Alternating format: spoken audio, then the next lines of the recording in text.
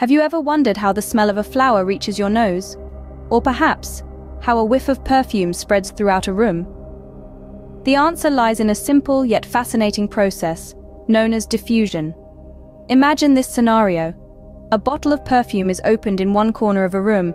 After a few moments, the fragrance begins to fill the air, reaching even the farthest corners of the room.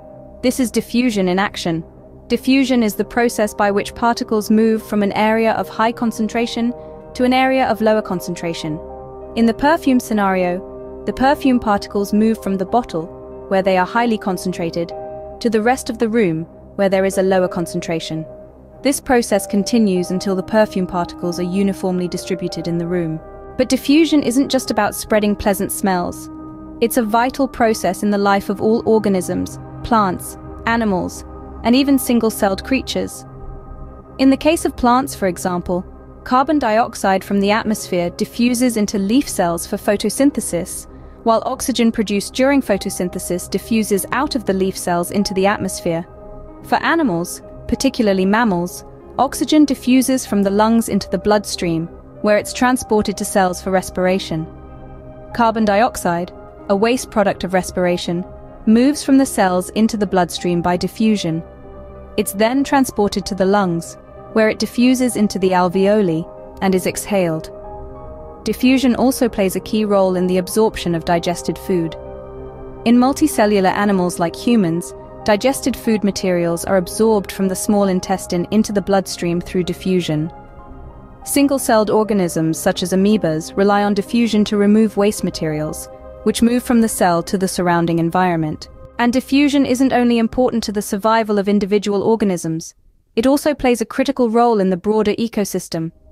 Consider the lion or cheetah, predators that rely on diffusion to locate their prey. The smell from the prey reaches these predators by diffusion.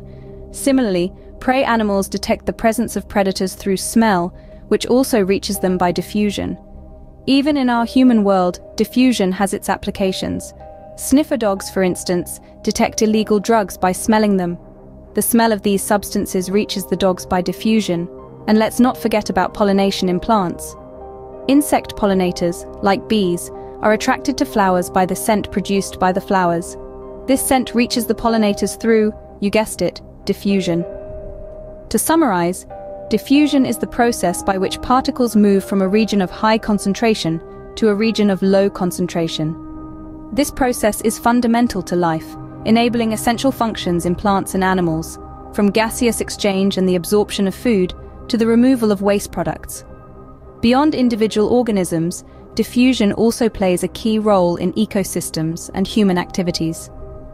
Whether it's a predator hunting its prey, a bee finding a flower, or a sniffer dog detecting illegal substances, diffusion is at work quietly and relentlessly shaping the world around us.